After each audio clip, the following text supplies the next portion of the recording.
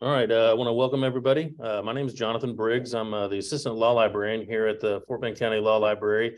And uh, thank you all for attending. Uh, we're pleased to have Andrea Barr presenting today as part of our attorney lecture series, a, a series that we put on uh, a few times a year. This is probably our 30th one or something like that. And Andrea's presented a few times for us. So uh, she's been very kind to us to share her expertise with attorneys and pro se's on various topics. Uh, Andrea is a, a probate litigation attorney primarily, though she does handle some other civil matters as well, appeals and so forth for its RMO probate litigation firm. She's the managing attorney for their office here in Houston. Uh, she's been practicing that area for quite a while. I've even known her to have trials on those matters right here in the Fort Bend County Justice Center. Uh, she is uh, regularly in trial. Uh, she uh, is an active attorney and uh, giving lectures and teaching other attorneys and pro se people about various aspects of the law. Uh, she is a graduate both of U of H undergrad and uh, U of H Law School.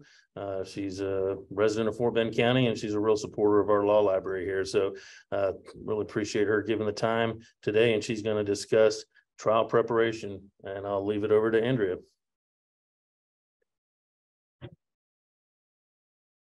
Hello, I have included uh, a PowerPoint. I've dropped it into the chat. Also, I did do a handout. I did a paper related to evidence as well as um, appendix with a trial checklist, an exhibit list for uh, filing with the court or sending to the court coordinator, as well as an internal exhibit list and um, another uh, trial proof matrix. Um, these materials I've drafted and used in trial. So I included them on the back of my paper. The PowerPoint I've included as well. Um, I'm going to screen share so you guys can see the PowerPoint, but I've also um, shared it in the chat box. Um, so what's enough time to prep for trial? Um, the answer is there's always never enough time, I feel like, but um, it depends on what kind of practitioner you are on what works for you my recommendation is to calendar reminders, especially if you're using staff on when things need to start happening. So I calendar when I once I have a DCO in place, I calendar um, 90, 60, 30 days out, two weeks, seven days, three days, depending on what deadline it is. Because, and I usually have in my calendar notes what things need to be happening or being worked on during those times.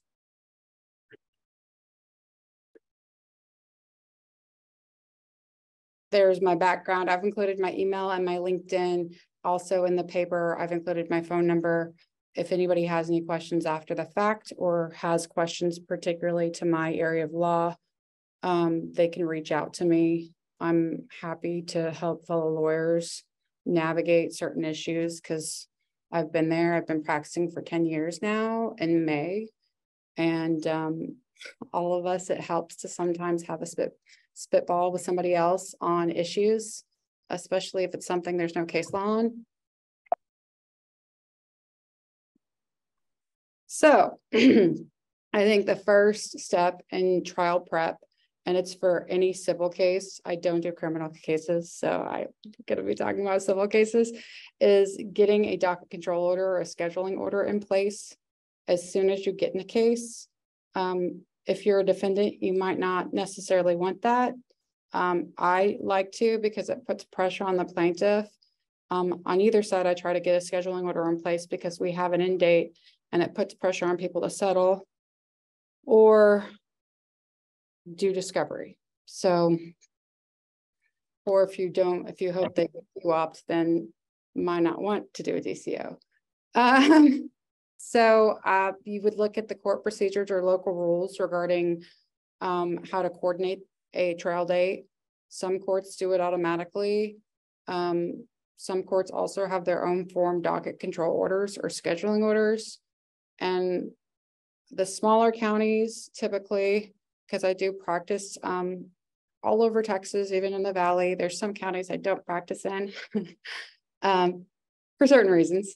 Um, but they might have a form doc control order, or they might just do a scheduling order that has just the trial date and the pretrial conference.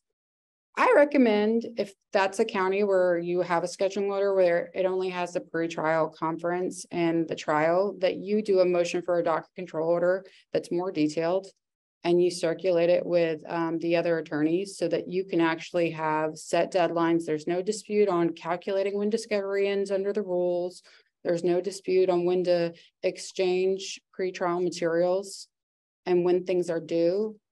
I recommend conferring, and then if they don't agree, at least um submitting to the court the blank form for you guys to have a scheduling conference so the form can be filled out.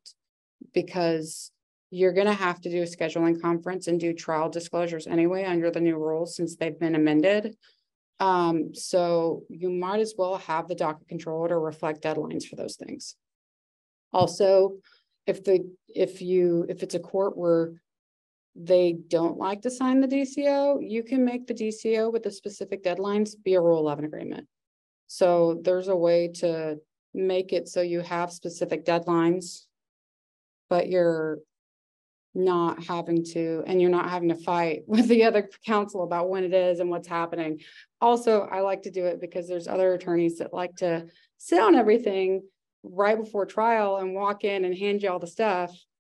And uh, it's better to have a deadline so you get it ahead of time and you have time to do your written objections for preservation of error for an appeal.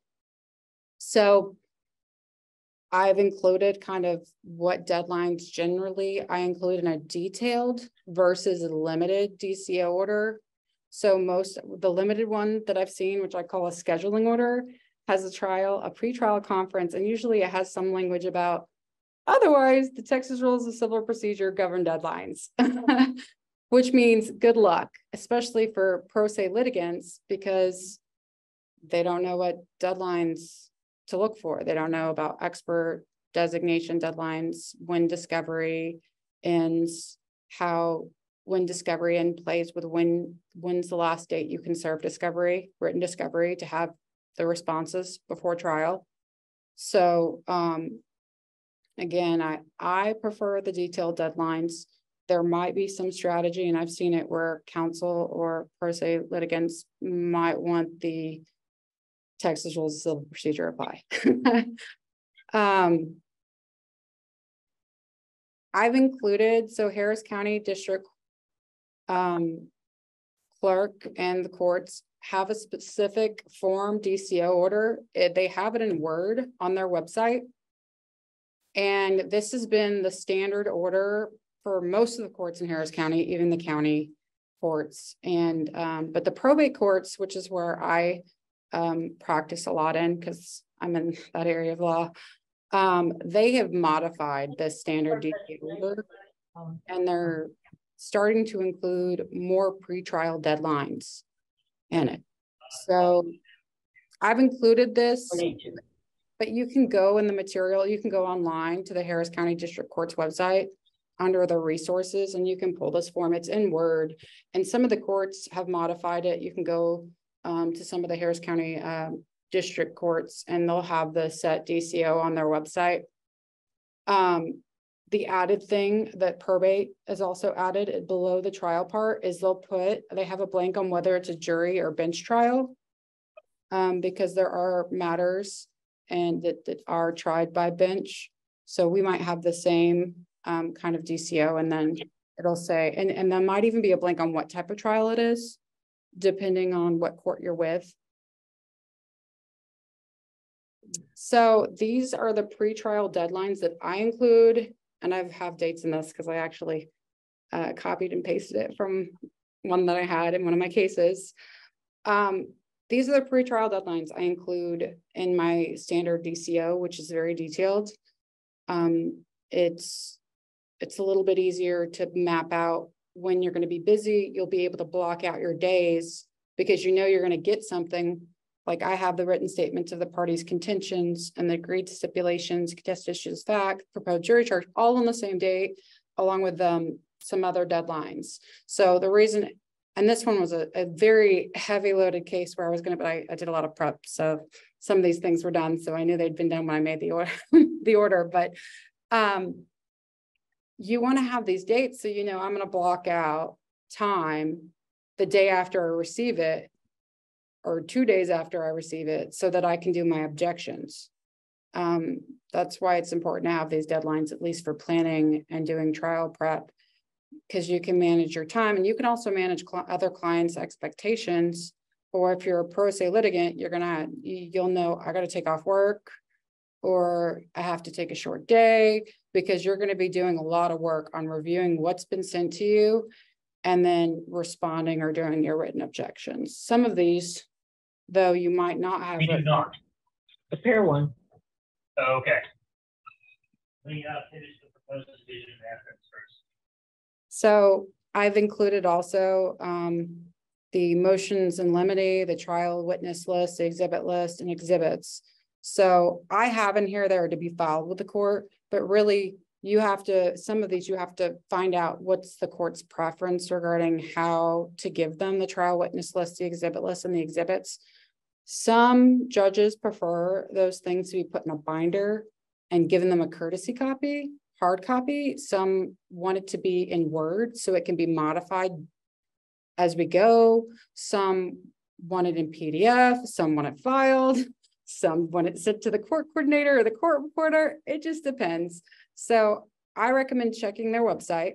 If it's silent, there's nothing on there about it, then reaching out to the court coordinator and the court reporter regarding what the, the courts and the clerk um, the court's clerk about what their preference is. And if you have a hearing, like the pretrial hearing, you don't have your answers yet, I would ask then, or if you do a scheduling conference to get a trial date so you guys can work out a detailed DCO, that's when I would ask, okay, how do you like these things done? Um, in Harris County, most of the judges have that on the website or in the court procedures or in their local rules. The probate judges actually have checklists about some of the things. I would say with the sitting judges right now in Harris County, there are two that prefer paper copies. There are two that do electronic. Um, so depending on what court you fall in, you might have to have three or four copies because for example, court four, Harris County probate court four requires, um, well, he prefers, excuse me. A paper copy for his court reporter, a paper copy for him. And then, of course, you're gonna need one for opposing counsel, or if they have co-counsel, two chairs. And then you'll want one for yourself and then possibly for the client, or if you have co-counsel. So you're looking at probably six binders, maybe seven or eight binders. So, and that's a lot of printing. So I recommend the deadlines in your pretrial being way ahead of time. Also, because of the print jobs you might end up having to do. And I've sent out print jobs depending on the production and things I've had to print. I've also done it in-house. Um, it just depends on how many pages you're printing. Also, for the deposition testimony designations, um, I did, I like to do a longer deadline between that and counter designations usually because you'll need time to review the whole transcript. Um, because of optional completeness, you'll want to make sure that things aren't taken out of context, um, testimony wise. So there might be also other things than just a deposition transcript you're reviewing to figure out how you're going to respond to this designated testimony. So when you review the testimony that they've designated, you look through it and you're like, okay, well, what can I, what can I present to refute this or kind of present our side of the story? You would look at those deposition transcripts, the full thing. You would also look at other witnesses' deposition transcripts, and you would look at your documentary evidence. Or if you have a live witness that's going to be there that can refute it, you might want to designate, not at least to yourself internally in your in your list of your proof, you might want to list this is what's going to refute that that deposition excerpt. Um, as far as written objections to proposed jury charge instructions and definitions, it's very, I recommend doing written objections. It is not required for preservation of error. However, if your oral objection is not specific in fact and law, you can actually fail to preserve error. So I always include the written objections in my pretrial deadlines because if you have time, you should do written objections. You shouldn't be doing it orally on the fly in court because there's a chance that you'll mess up or miss something. And um, you don't want to be in that position when getting the transcript after the fact on your appeal and being like, oh, I didn't really say it how I thought I did. Um, even if it means you have a jury charge conference and it ends and the next day you're coming back and maybe they've already ruled. If you have time that night, whip it out and file it.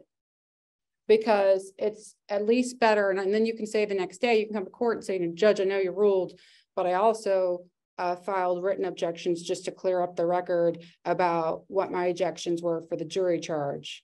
Um, I'd happily address them now, or I can just um, let the briefing apply and, and the court can consider them. Um, that you is sometimes frowned upon, um, but I would rather do it and have it in the record than not have it in the record.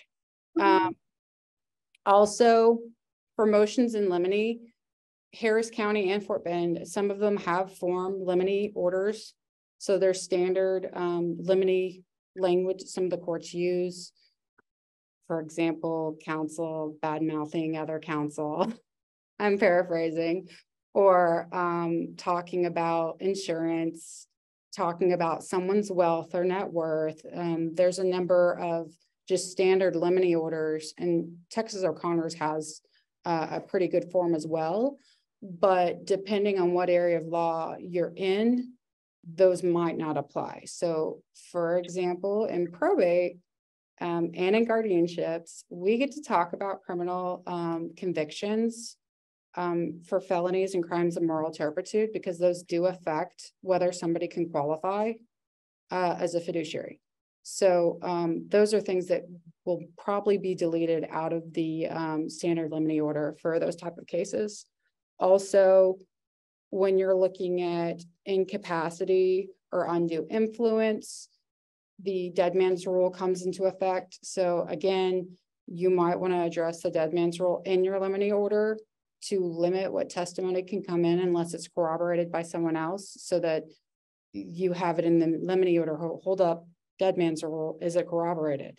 And you can kind of preemptively have that in place during the trial because it's going to be an issue. It also reminds you that you don't waive it during trial. Because if you ask questions that uh, um, the responses, what the what if you asked a question during trial, what did the decedent say? You're waiving it because you're asking them directly to violate the rules. So um, by keeping it in your limine order, you're it's a checking system for yourself as well. So I actually have it in my standard motion and order um, for some of my cases if there's going to be a decedent or if someone's going to try to talk about what a dead person said, um, because it reminds me when I'm trying to put my my my testimony questions in place. So also uh, written objections to trial exhibits and witness lists. So again, I, I think it's better to do written objections, but again, you can do it orally.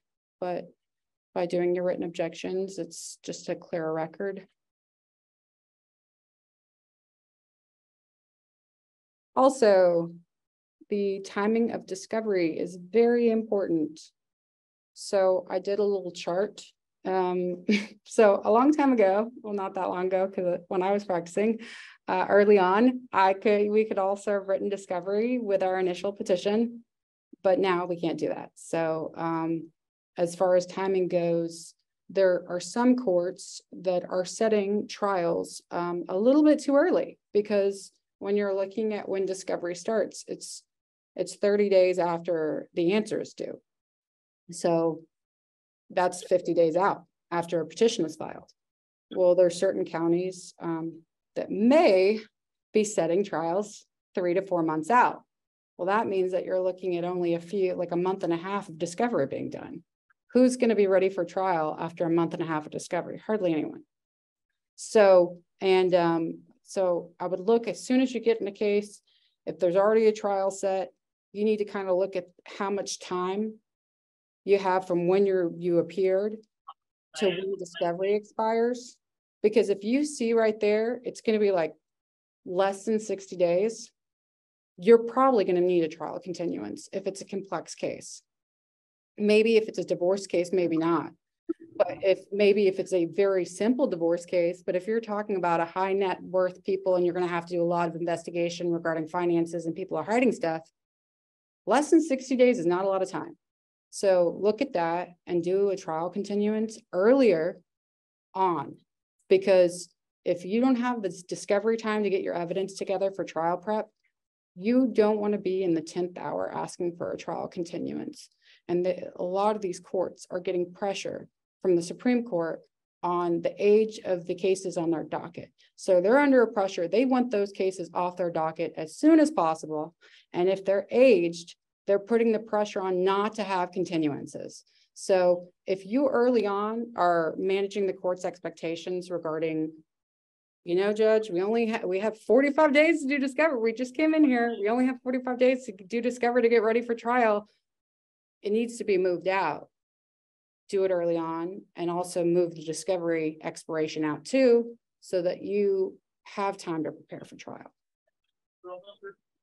I've also included ninety days before the expiration of discovery as a key time to start getting ready for trial because Okay. ninety days out seems like a lot, but it's really not because you'll, you'll probably have other things going on. And typically, with most cases, I'd say that people might still be doing depositions at that time.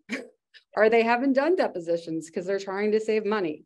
So review your discovery, evaluate the need to supplement, confer and file motions to compel discovery from the opposing parties if there's boilerplate objections or they only produce like five pages. Um, also evaluate whatever discovery you need, written discovery. And review your authenticated records. So go And I, I practice wise, as soon as I get a response to a subpoena. I look at the business record affidavit, I look at the deposition of written questions to make sure they comply with um Texas Rule of Evidence nine oh two. And if it doesn't, I immediately, if we have a subpoena service. I ping the subpoena service and I say, you need to get back with the the the deponent. Um, with the non-party to let them know that this isn't gonna work. If it's deficient, it needs to be fixed. And then I calendar it. Or I ask my, my, my legal assistant calendar. I calendar it to remember to go back to the subpoena service to make sure I make sure that I get that. I also have a subpoena chart I keep where I've indicated in the subpoena chart, we've received the records, problems with the authentication, followed back up. Um, you want to check that. I say ninety days out, at least, because you're gonna need time to get those affidavits or those deposition of written questions, and then you have to file them with the court under the rules ahead of time for the trial. So if you're doing that right before trial, it's possible you might not be able to get it in time. So ninety days out. Best case practice is doing it when you receive them, but sometimes you don't have time to do that.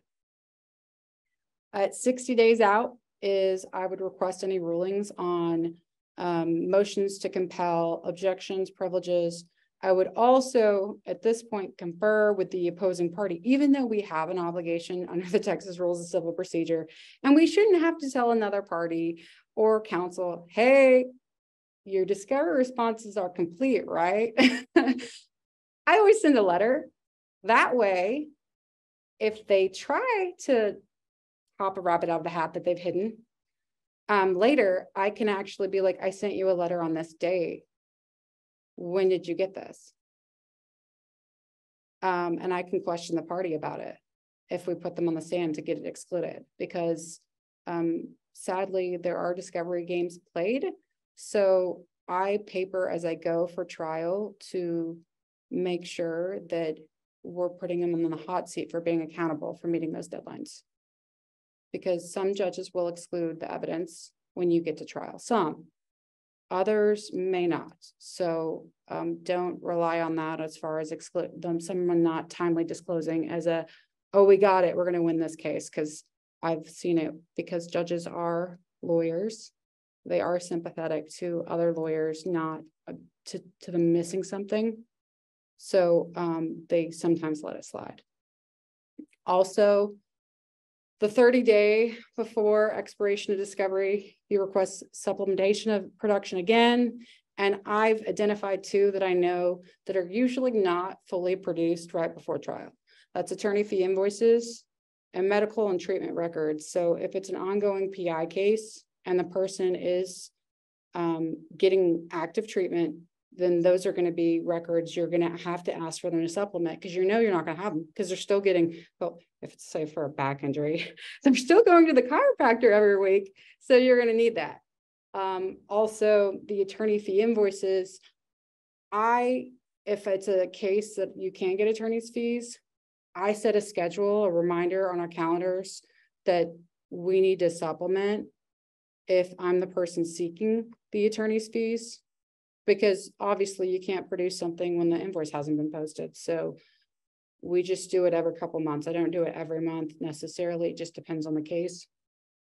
Um, twenty days before trial, I recommend producing all, and this is because I find it easier for myself to look at production in binders at trial. I also have them on PDF on my computer during trial, but it's quicker to pull something up. If someone's trying to present evidence that they didn't have in their exhibit list and it's Bates numbered, if I have it in a binder, I can quickly flip it to the page that they're referring to and, and see if it, if what they're saying is what was actually produced.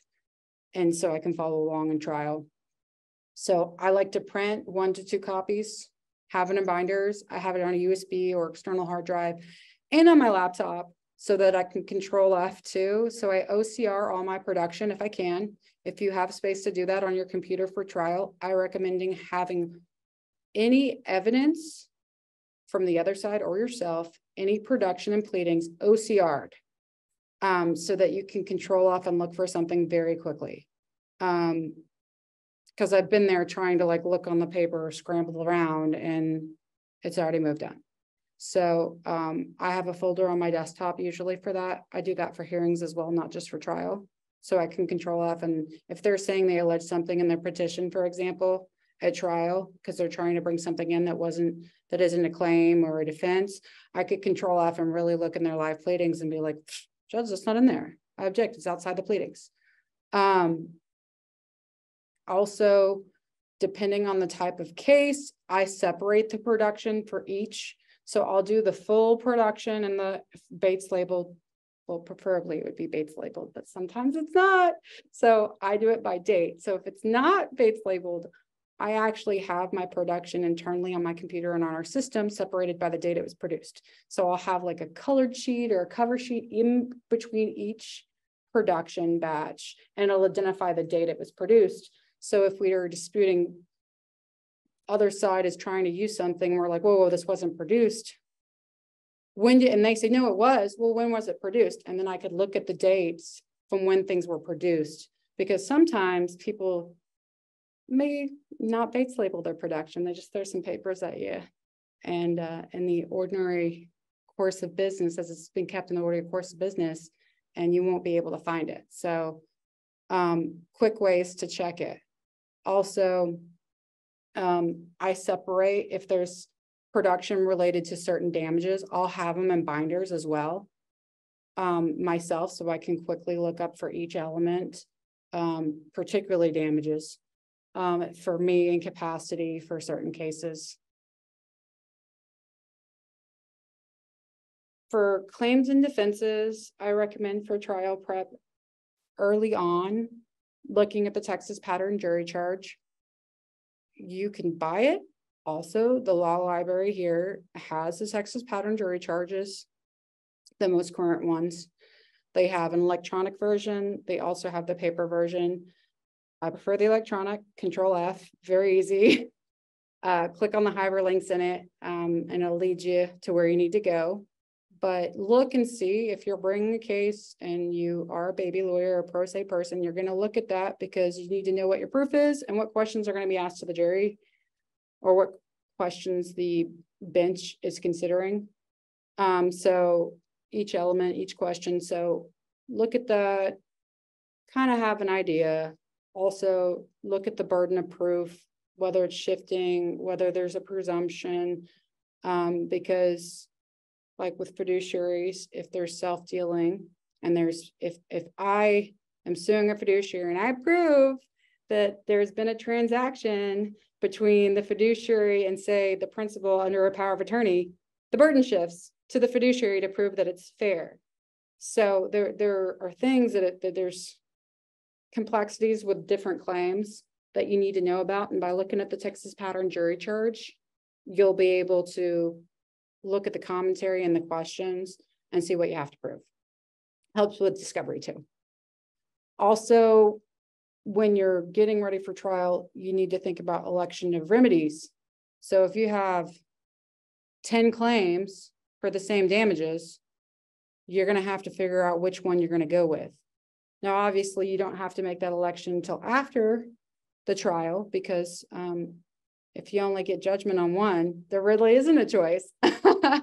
But if you get judgment on multiples, you're gonna wanna uh, look at which ones you can get fees for. So my election of remedies usually is which one gets fees, and then if there's multiple ones that you can get fees, I then look at it and see which one had more solid evidence, which one uh doesn't have as many fact issues, if you will, um, like fraud. Um, also with election of remedies, if you're dealing with a defendant that might be judgment proof or um, be filing for bankruptcy, you also want to consider which claims that you um, got a judgment on cannot be extinguished in bankruptcy. So that's another thing to think about when you're doing your election of remedies. If you're dealing with bankruptcy, you want to know what, what can't be extinguished. Um, also, when you're going to trial, I recommend narrowing your claims and defenses. Some people want to throw the kitchen sink in there. Um, I don't because it frustrates the jury. I've, I've been in two, three week jury trials. And by the end, they're mad at everyone for having to have been there so long. So I recommend narrowing it. Sometimes you can't, um, but if you can, narrow your claims. Don't throw the kitchen sink in, especially if some of them are weak. Get rid of the weak ones. Um, we don't need a forty-page uh, jury questions um, because we're going to be there a while. So some counties and some courts do joint pretrial orders. Um, there's some courts here in Fort Bend that do it. There's a lot of courts in Harris County that do it.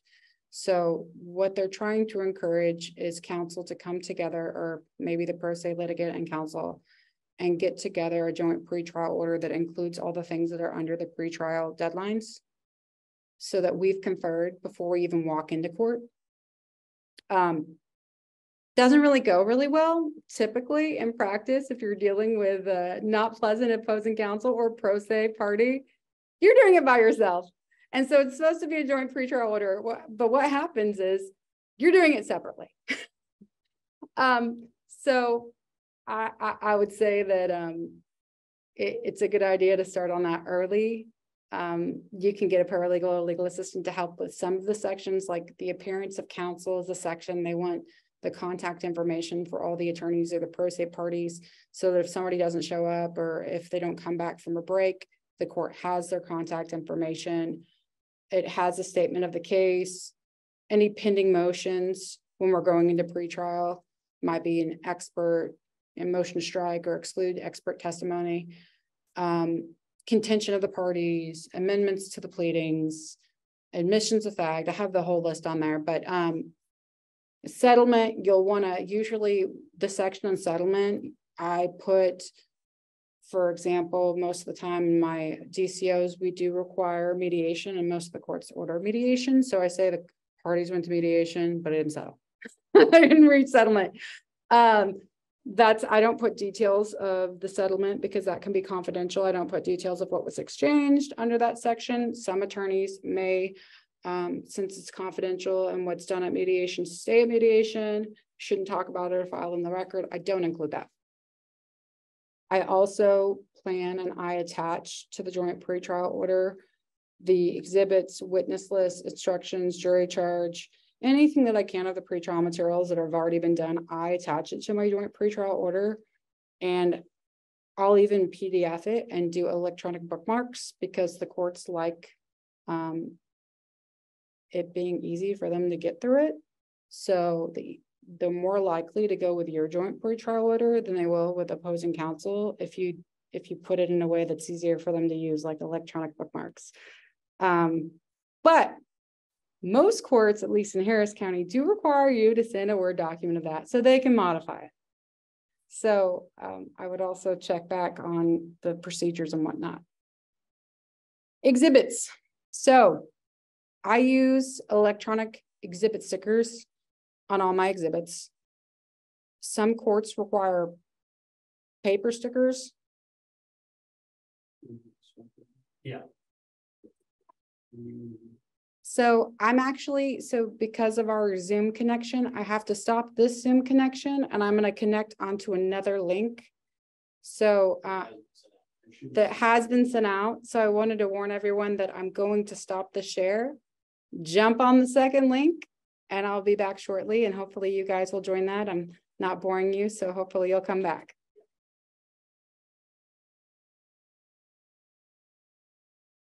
Minutes. We are back from our little break.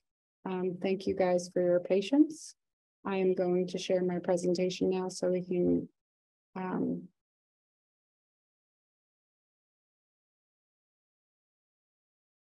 so that we can get through this today. Um, I was on exhibits, so I use electronic stickers mm, ahead of time typically or during trial, but for those judges or courts that like the paper documents, same with the court reporters, they're gonna want actual stickers. And the court reporter might actually have her own stickers with the little blanks to put plaintiff or defendant or names or whatnot. So I would again ask the court or um, the clerk regarding what their preferences are if it's not on the website so that you don't make the mistake of marking them ahead of time and then having to put a sticker over it. Um, for those of you that did Zoom trials, um, like I did, you it was easy to use electronic stickers because you're dropping in the chat box and you could mark them as you went. Um, if you don't have electronic stickers in your Adobe DC or professional, let me know. I have an add-on that I can share that I got um, that you can download and you'll have exhibit stickers so you can modify them.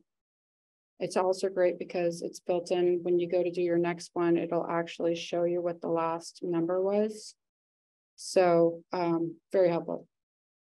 Also, have your exhibits a hard copy, even if the judge is an electronic person and electronic. I do both so that I can pull it up. I'm not rustling papers during trial. I can be looking on an iPad or I can be looking at it on my computer. On the same line, do a tech, a tech check in the courtroom, arrange it ahead of time I did that for the presentation today. Um, you never know, especially if you're using a Mac, you're gonna have problems. So if you plan to use your computer and you're gonna do a demonstrative or video or some audio or zoom in to a document, make sure that your tech is gonna work with the courtroom you're going to. And um, it's good to do that as well because some of the courtrooms have the huge monitors by the jury, then the judge has their own monitor and they're following it along with that with everyone. So you and there might even be one on the witness stand, depending on the county. Um, here in Fort Bend, if you have a PC, super easy. You just plug in a USB and there's a clicking button for ClickShare. Um, they have like little papers in the courtroom. Um, and, and they do have them in the law library about how to use ClickShare. Harris County is not that advanced. So if you end up in Harris County, they don't, they have advanced their technology, but they're not at ClickShare yet. So um, you have to make sure you bring the correct adapters to plug into the computers there.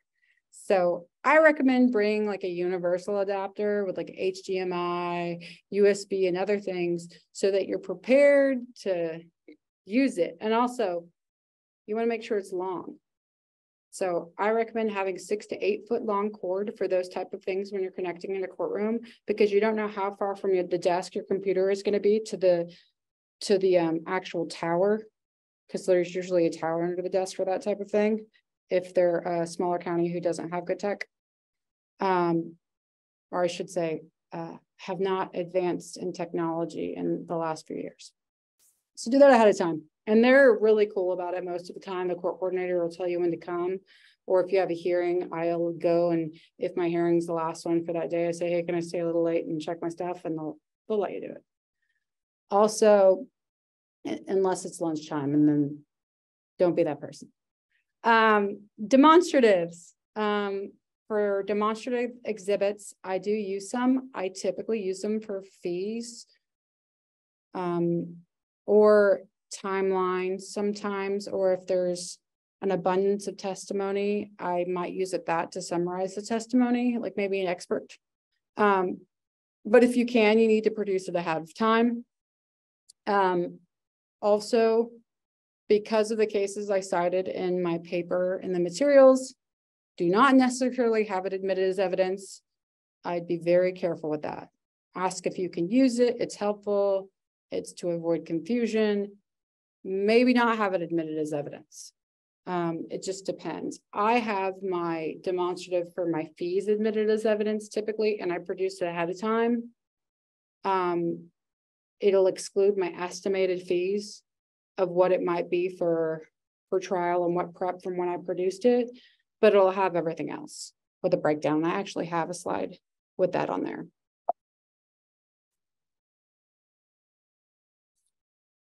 Foundation, so I also covered this in my materials. Uh, but I'm being more practical with how I'm presenting in the PowerPoint.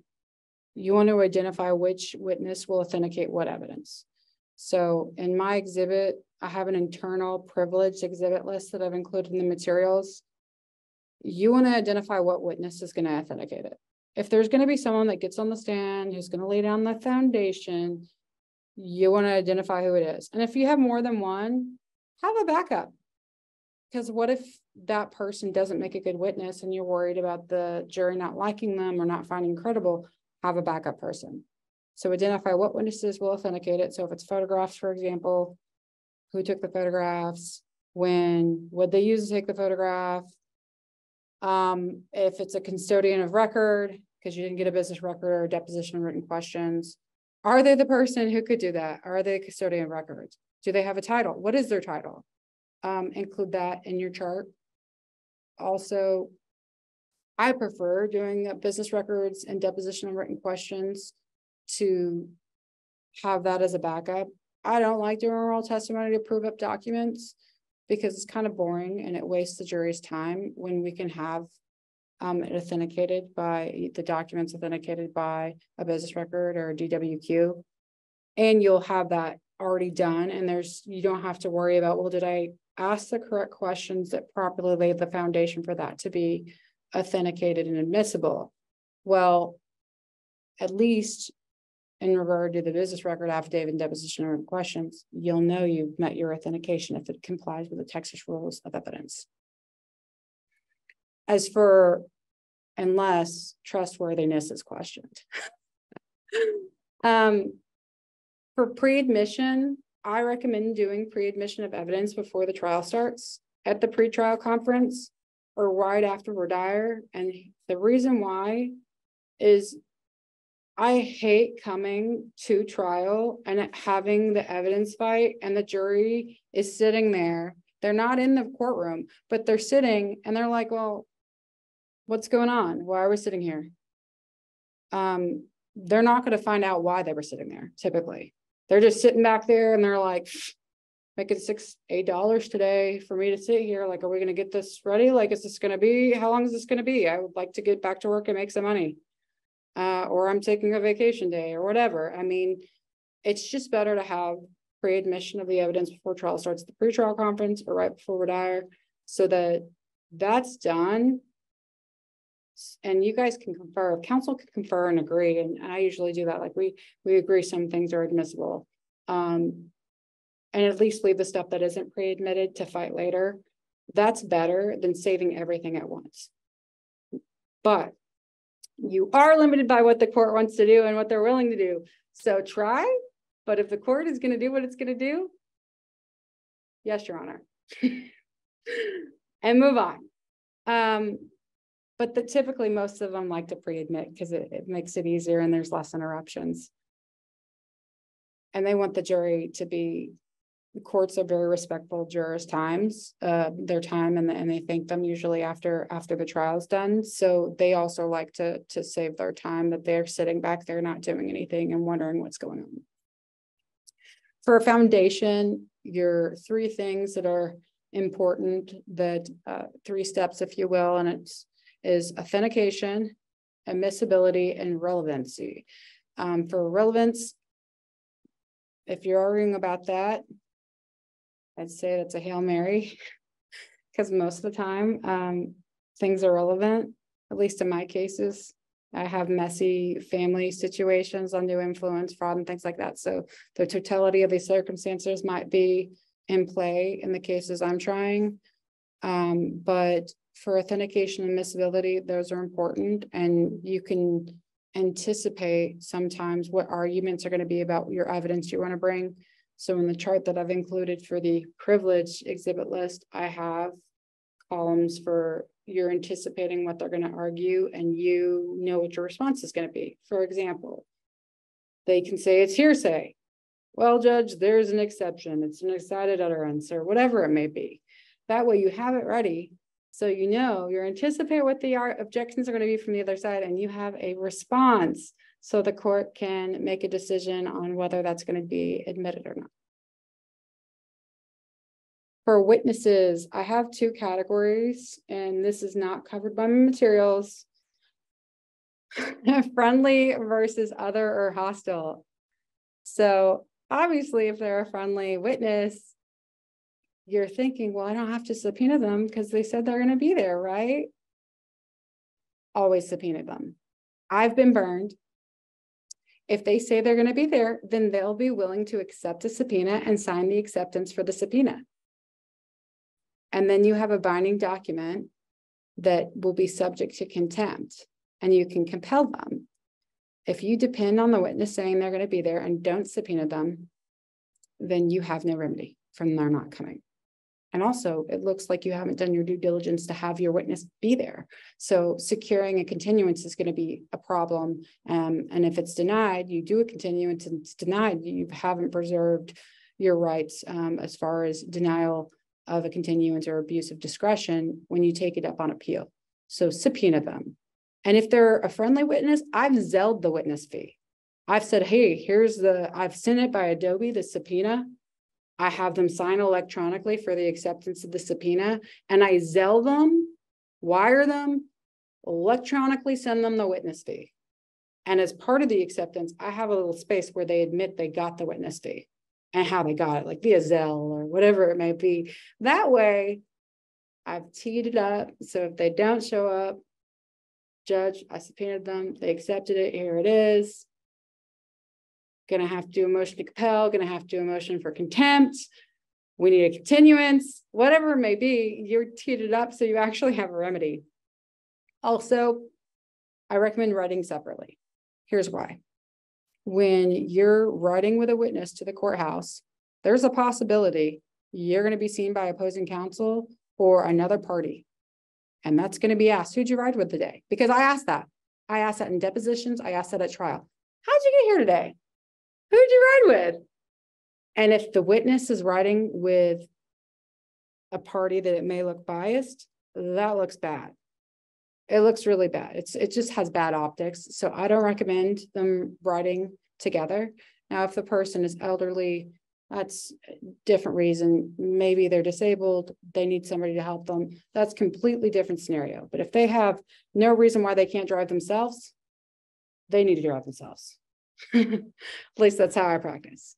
Also, when you get to the courthouse, minimal contact prior if they're friendly. You don't want the jury to see um, the witnesses hanging out, talking to the party, being buddy buddy, hugging them, high fiving, texting, whatever. It's just better that the witnesses stay away from, they stay away from each other. Now, if they're spouses, or family, close family, that's understandable.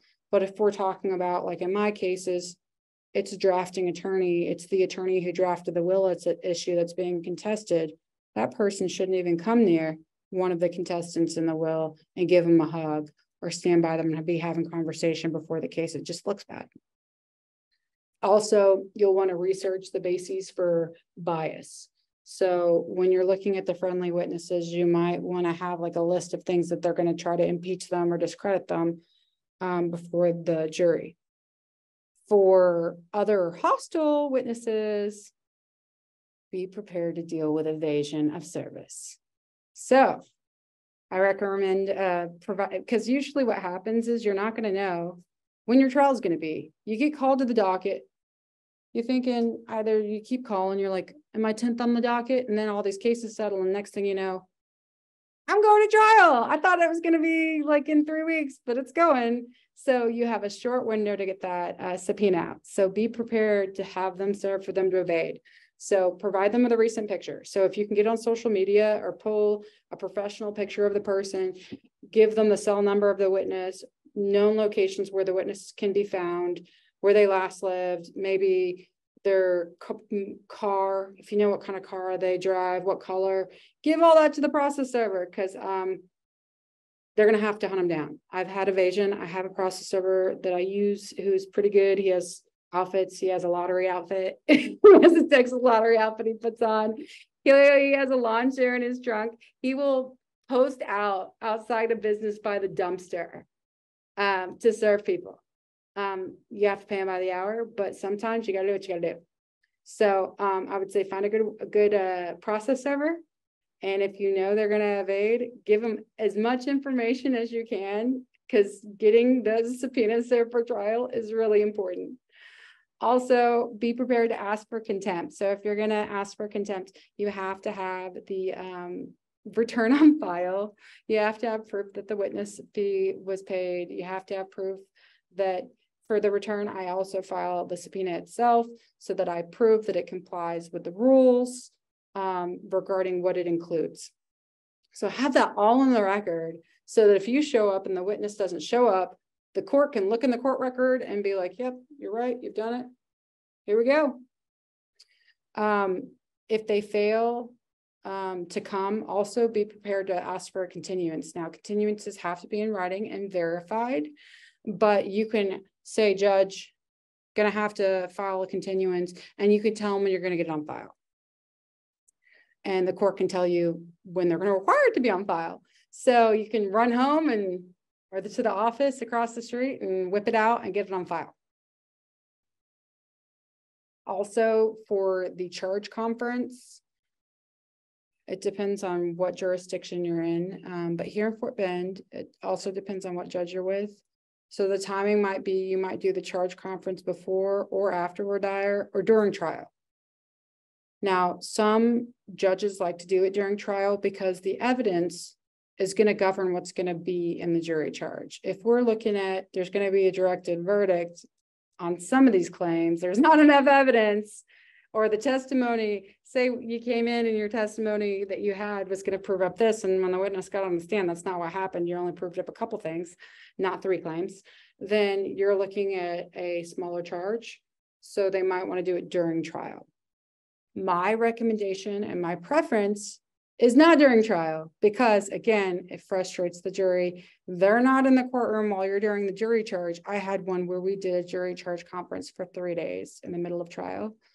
And the jury, when they came back in, were killing us with their eyes because they were wondering what the heck was going on for those three days while we're sitting in the we're sitting in that in the other room with no TV. We can have our electronics, but can't use them. Um, so I recommend not doing it during trial. If you can get it done before, ask the court to do that. Again, the court rules on how it's done, so you can request it, but if it's denied, don't push it. Also, I do all my written objections, like I said before. I try not to do oral objections because you won't you have a better chance of not preserving error if you do it orally than you do if it's written. Also, Texas pattern jury charge, the way I do my jury charge is I do footnotes saying where it came from in the jury charge. So there is case law, it is not required to use the jury charge. However, the jury charge is broadly construed. It's promulgated by the Texas Supreme Court. It's also done by professional attorneys, almost all courts accept the jury charge. Um, if you use it, typically there's less chance that there's going to be an error on appeal related to the jury charge. There are things that are not covered by the jury charge, like I'll give you an example, defalcation. Um, it is a uh, fiduciary duty claim um, that is not dischargeable in bankruptcy. There is not a jury charge for that. So you'll have to draft that from scratch. I've done it. So there'll be claims out there that aren't covered, but if they are, use a jury charge, use footnotes so that the other side and the court can check that it's complying with the newest Texas pattern jury charge. Also, if it is a case where people can afford to do it, the charge conference might be where you have appellate counsel. Or if you're a larger firm and you have different divisions and you have an experienced appellate lawyer at the firm, have the appellate lawyer be there for when the evidence uh, objections are dealt with and when the charge conference happens, because those are the times where there might be waiver of error. So having that experienced person there and they're not actually arguing it, they're just kind of sitting there and they might pass a post-it to the person who's arguing it to let them know like, hey, you're missing something, uh, might be helpful. If not, I mean, I've seen lots of them where they're they're not not there, but if we're talking like a billion dollar case, it makes sense why you would have appellate counsel at the table. Here is an example of a jury charge, how I do it. Um, I didn't fill in the bracket, but you'll see I, I put a footnote after the question. And then I do a footnote for as far as you can. So I've seen it done both ways, which is why I did this. So you can do TEX, PJC, and then the number, or you can do Texas pattern jury charge and then the number. But either way, I recommend doing that because everybody can check, are they actually following the jury charge um, that's been promulgated by the Supreme Court? Offer proof. So uh, getting ready for trial, I recommend having an offer of proof ready for certain things where you think there might be a problem with getting the evidence or testimony admitted. So, and my outlines are usually like bullet points. Uh, it's shorthand, it's not the full outline. But that's why I recommend doing the pre-admission, because if you do the pre-admission of evidence, you've narrowed down what evidence is at issue and being objected to. So then you can identify, okay, well, we're going to have problems with like five exhibits, and you can then do an outline for the offer of proof on those five exhibits so that you know you're ready. Also, the case law and the text rules of civil procedure require that the offer of proof happen as soon as practical and before reading the charge to the jury. So if testimony or evidence is excluded by the court, you need to ask for that offer of proof as soon as possible. And make sure it's before they read the jury charge. Also, it's typically done in a Q and A fashion to lay the foundation and how I've seen it done. I've, I've actually only seen an offer of proof done related to expert testimony usually. Um, I haven't used it for anything else. Um, because usually you can find another witness or another way to get something in. A chart or a shorthand um, list of things is I include evidentiary objections. I have a little chart I always bring with me uh, to trial or any um, hearing, like a summary judgment hearing. Also do uh, have a, if we have limine orders, I have that readily and I have like a bullet list of like little limine um, limitations so that I can run up to the bench with my list and we can hash it out.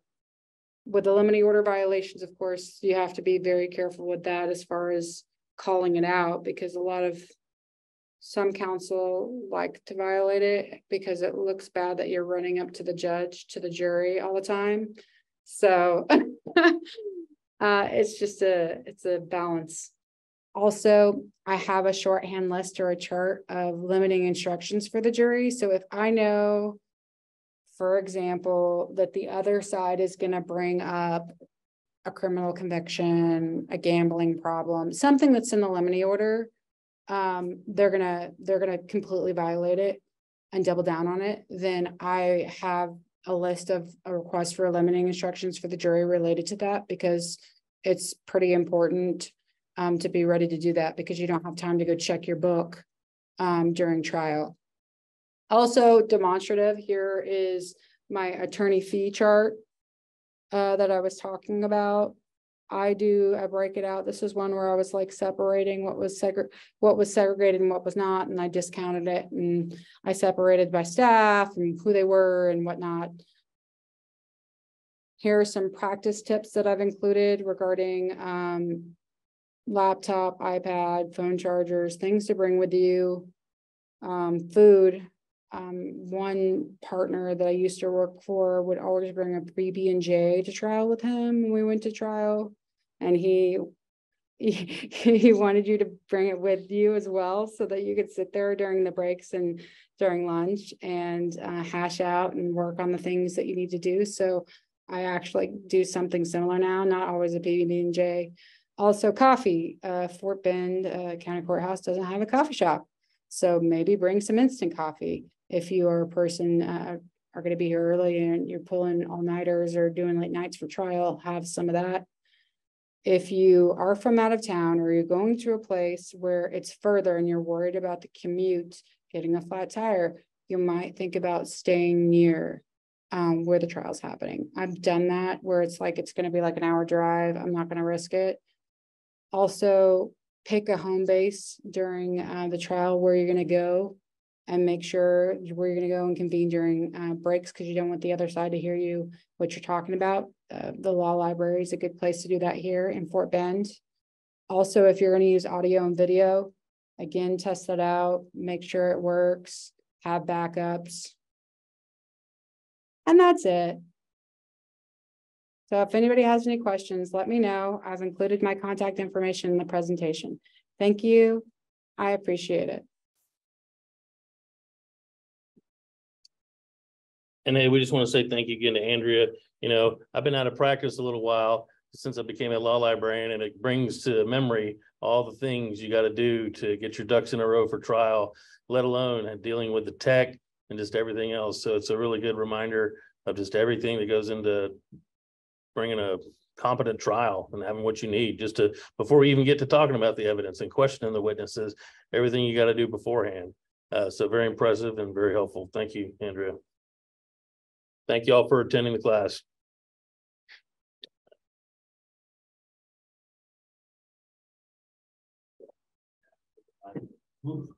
Everything is on the file.